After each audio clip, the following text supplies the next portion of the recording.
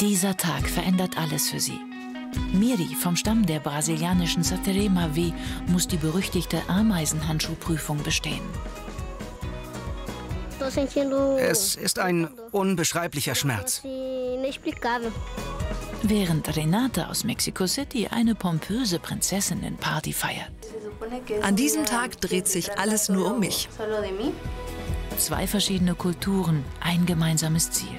Endlich erwachsen sein und als vollwertiges Mitglied der Gemeinschaft akzeptiert werden. Du bist perfekt. Wenn du das Ritual nicht bestehst, denkt jeder, du bist ein Angsthase. Unsere Reise beginnt im brasilianischen Regenwald. Hier gibt es bis heute eine Vielzahl an indigenen Völkern und jedes davon pflegt seine eigene Kultur. Im Amazonasgebiet, eine halbe Stunde flussaufwärts von Manaus, leben Mitglieder des Volkes Satelimavi. Das kleine Dorf mit 150 Einwohnern ist die Heimat des 13-jährigen Miri. Miri wohnt hier mit seinem Vater, seiner Mutter und seiner kleinen Schwester. Ihr Zuhause ist ein selbstgebautes Haus. Es gibt dort Strom, Internet und alles, was die Familie zum Leben braucht. Die meiste freie Zeit, wenn Miri nicht in der Schule ist, verbringt er mit seinen Freunden. Von seinem Leben als Erwachsener hat er genaue Vorstellungen. Ich will ein Jäger werden. Genau wie mein Vater. Ein Arbeiter. Und ich will von der Dorfgemeinschaft respektiert werden. Die Familien hier leben vom Fischfang und der Jagd. Auch Miri soll schon bald eine wichtige Rolle in der Gemeinschaft einnehmen. In Vorbereitung auf das Ritual wird er bemalt und es wird ein Krokodil verspeist, das er und sein Vater am Vorabend erlegt haben. Seine Mutter ist sehr stolz auf ihn. Miris Aufgaben sind es, mit zum Jagen und Fischen zu gehen, im Haushalt zu helfen, sauber zu machen und auf die anderen Kinder aufzupassen. Er arbeitet wie ein Erwachsener. Doch noch ist er kein Erwachsener. Dafür muss er erst an einem traditionellen Reife-Ritual teilnehmen, in dessen Mittelpunkt ein von den Satarema W verehrtes und gefürchtetes Tier steht. Die drei Zentimeter lange, hier heimische Tukandira. Sie ist bekannt dafür, einen der schmerzhaftesten Stiche im gesamten Insektenreich zu haben. Dutzende dieser Ameisen werden für das Ritual lebendig in einen Handschuh eingeflochten, den die männlichen Dorfbewohner zehn Minuten lang anziehen. Die Folge sind eine Menge Stiche und ein unbeschreiblicher Schmerz. Diese jahrhundertealte Tradition findet zweimal im Jahr statt. Miri soll es zum ersten Mal versuchen. Schafft er es nicht, darf er in der Dorfgemeinschaft keine verantwortungsvolle Rolle übernehmen. Heute bricht er mit seinem Vater und seinen Cousins in den Dschungel auf, um die Ameisen für das Ritual zu besorgen. Mit dem Boot geht es eine halbe Stunde flussaufwärts. Dort erhofft sich die Gruppe eine reiche Beute. Wir finden die Ameisen auf trockenen Böden. Wie wir von unseren Vorfahren wissen, sind die dort lebenden Ameisen die mit den schmerzhaftesten Stichen. Nach einem kurzen Fußmarsch ist es soweit. Die Gruppe erspäht am Stamm eines Baumes ein Tukandera-Nest. Miri benutzt ein Blasinstrument aus Bambus, um sie herauszulocken. Du musst hineinblasen, dann kommen sie.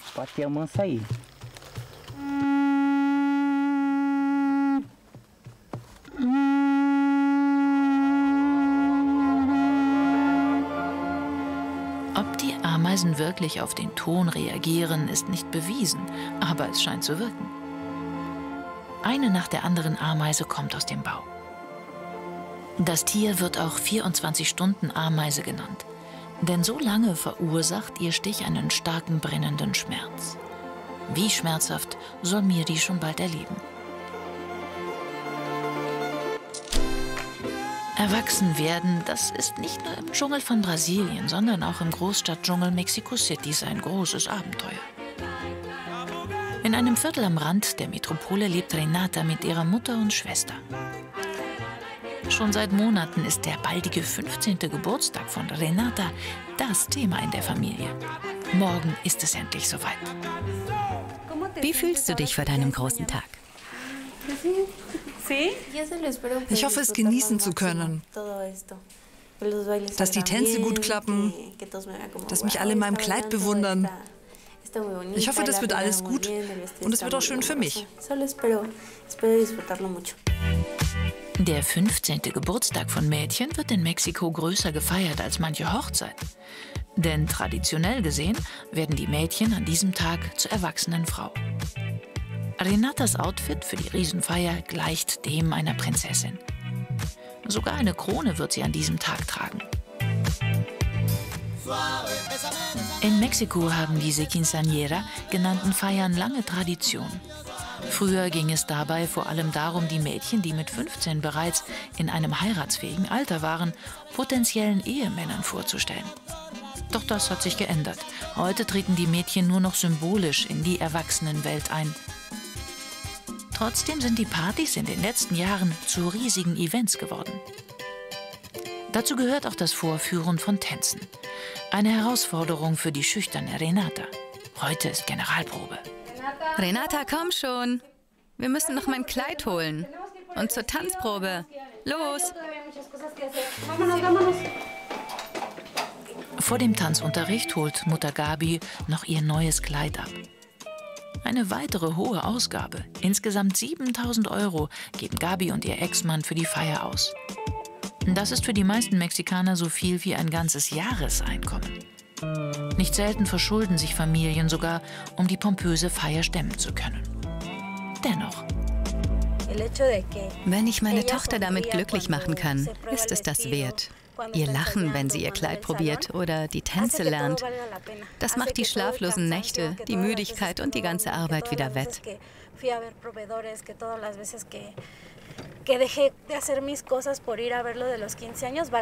Morgen wird ein großer Tag. Nicht nur für Renata, sondern auch für mich.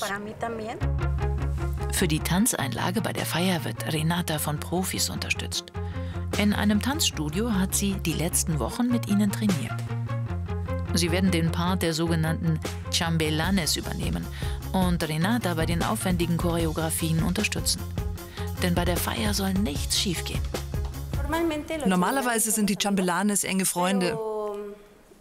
Aber ich wollte meinen Freunden nicht zumuten, Tänze einzustudieren. Also mache ich das mit Profis, die schon Erfahrung haben.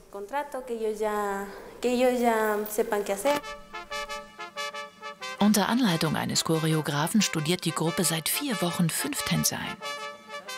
Keine Quinceañera kommt ohne diesen Mix klassischer und moderner Tänze aus. Damit werden die Gäste der Megafeier unterhalten. Und Renata zeigt sich als stolze, selbstbewusste Frau. Alle Gäste werden die Tänze begutachten und darüber reden. Deshalb überlässt der Choreograf nichts dem Zufall.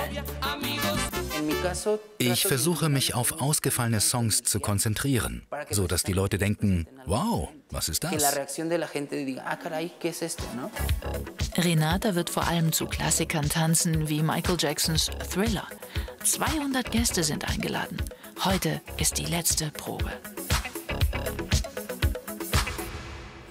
Kommt mehr aus euch heraus. Und du, schwing die Arme weit auf und lächel. Mehr lächeln. Genauso.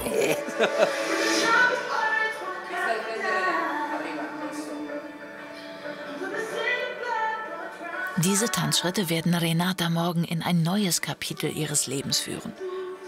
Denn ab dann ist ihre Kindheit Vergangenheit. Mit 15 Jahren gilt sie als erwachsene Frau. Doch bis es soweit ist, gibt es noch einige Stolpersteine.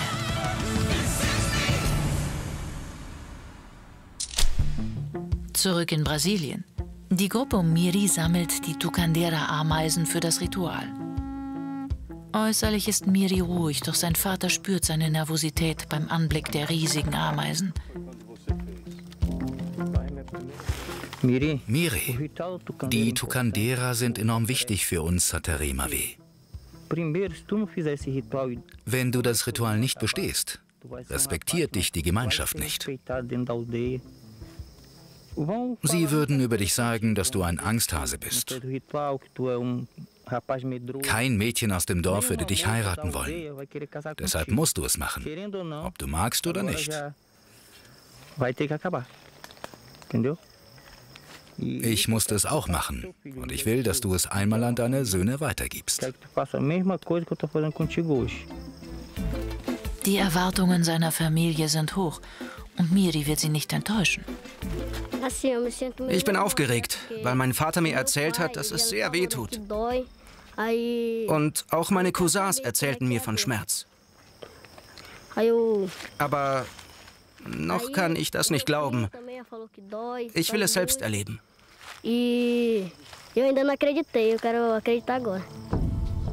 Besteht er die Prüfung, ändert sich Miris Leben komplett. Auch wenn er die legale Volljährigkeit in Brasilien erst mit 18 Jahren erreicht, akzeptiert ihn die Dorfgemeinschaft als erwachsenes Mitglied.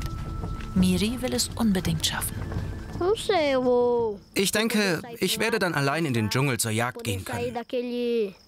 Oder anstatt am See im Dorf zum Fischen, an den Fluss gehen können.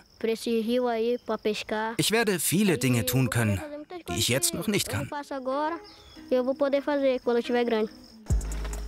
Auf dem Weg zurück entdeckt die Gruppe Raupen. Für die naturverbundenen Saterema W kein Grund, sich zu ekeln. Ganz im Gegenteil. Die proteinreichen Raupen sind ein willkommener Snack. Wir essen die Raupen vor dem Ritual. Denn man sagt, dass dann der Schmerz schneller weggeht.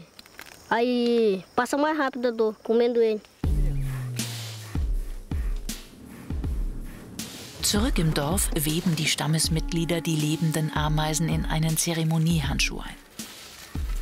Um dabei nicht gestochen zu werden und die Tiere nicht zu quälen, betäuben die Männer sie vorher in einem Topf mit Pflanzensud.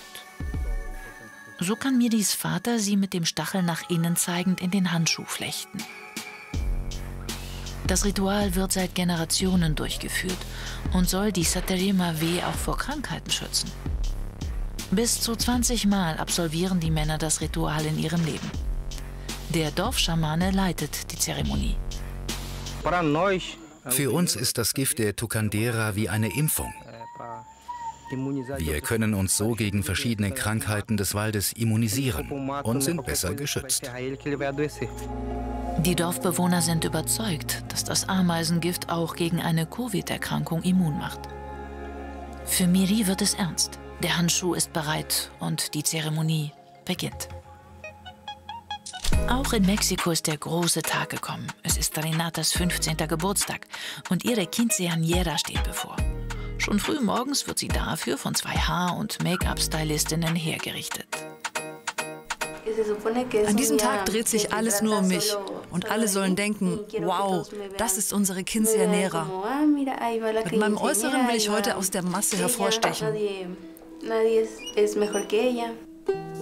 Trotz des Trubels bleibt Renata nach außen hin cool. Doch eine Sache macht sie nervös. Renatas Eltern leben getrennt und ihren Vater sieht sie nur selten. Doch heute werden sie miteinander tanzen. Der Tanz mit dem Vater ist sehr wichtig, bei allen Quinceañeras. Es ist wie, schau, ich bin jetzt nicht mehr dein kleines Mädchen. Klar bin ich noch deine Tochter, aber ich werde erwachsen. Das musst du akzeptieren. Und mein Vater ist für mich sehr wichtig, weil er mir sehr viel Liebe gibt. Auch wenn wir uns nicht oft sehen. Nach und nach verwandelt sich die schüchterne Renata. Sie soll heute wie eine echte Prinzessin aussehen und wie eine erwachsene Frau. Zum ersten Mal sieht jetzt auch Renatas Mutter ihre Tochter in komplettem Outfit. Du bist wunderschön.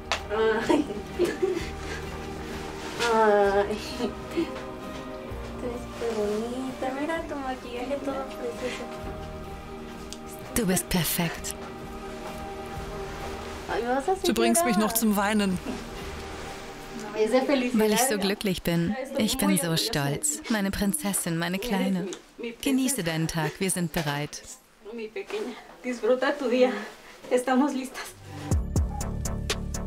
Endlich beginnt die Feier, auf die Renata seit Monaten gewartet hat. Mit ihren Tänzern und Freundinnen geht es zur Location. Natürlich standesgemäß in einer Stretch-Limo. Wirklich wundern tut sich über diesen Anblick hier aber niemand. In Mexiko ist das Spektakel einer Quinceañera Alltag. Egal ob arm oder reich. Jede Familie macht alles wahr, um ihren Töchtern einen unvergesslichen Tag zu bereiten.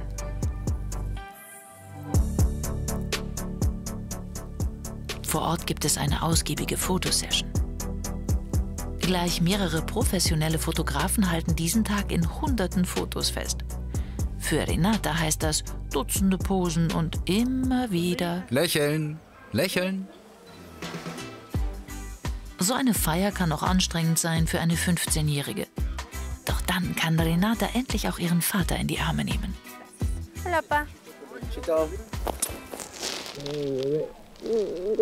Du riechst nach Parfum. Drinnen warten schon alle gespannt auf Renata. 200 Gäste sind gekommen. Es gibt Live-Musik, eine Torte und sogar einen eigenen Thron für das Geburtstagskind. Doch der wichtigste Moment steht ihr noch bevor. Sie wird vor allen Gästen die perfekte Tanzshow abliefern müssen und wird mit einer offiziellen Zeremonie in die Erwachsenenwelt eingeführt. Im brasilianischen Dschungel ist der 13-jährige Miri mindestens genauso nervös.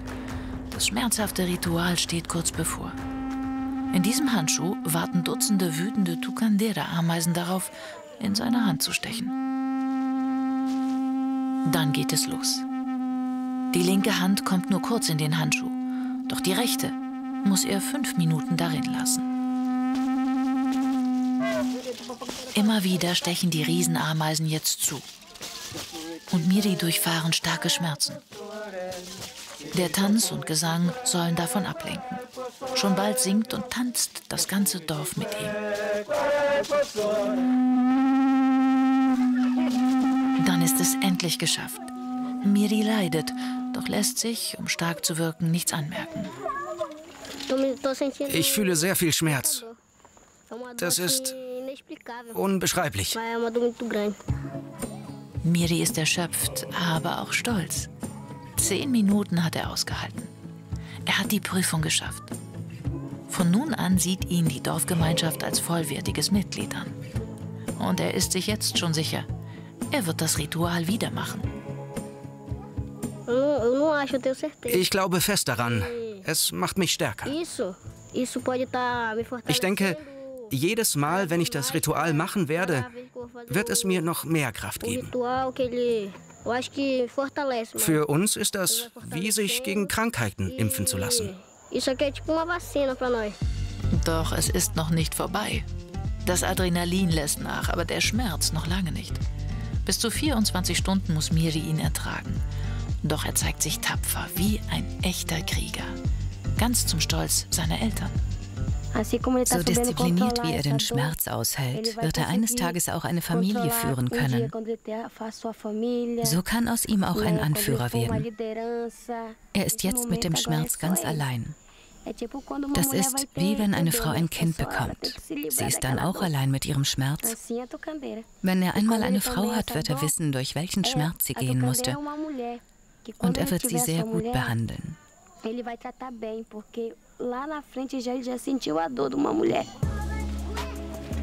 Miri hat das Ritual geschafft. Nach zwei Stunden tobt er schon wieder mit seinen Freunden herum.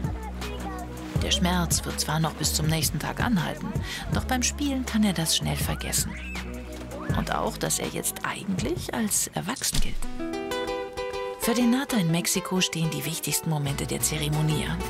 Zuerst der Tanz mit ihrem Vater.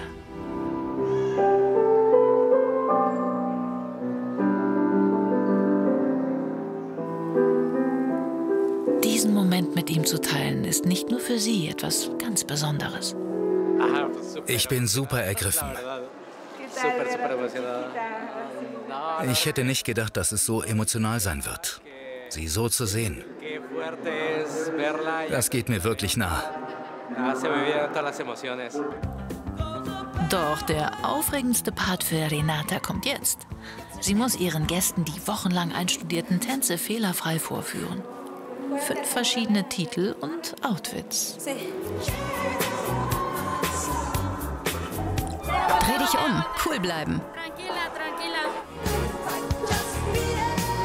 Ohne große Fehler bestreiten Renata und ihre Tänzer das anstrengende Programm. Ich glaube, alles lief ziemlich gut. Ich bin jetzt gelassener und glücklich, die Feier genießen zu können. Mit einer Krönung und der Übergabe eines letzten Riesengeschenkes endet für Renata nun symbolisch ihre Kindheit. Heute fängt eine neue Etappe für dich an. Ich werde nicht immer so auf dich aufpassen können, wie ich gern möchte, aber ich werde immer für dich da sein. Auch Renata hat ihre Reifeprüfung bestanden und geht ab jetzt als junge Erwachsene durchs Leben. Egal ob Brasilien oder Mexiko, so unterschiedlich Reiferituale auf der ganzen Welt sind, eines ist bei allen gleich. An diesen Tag werden sie sich ihr ganzes Leben lang erinnern.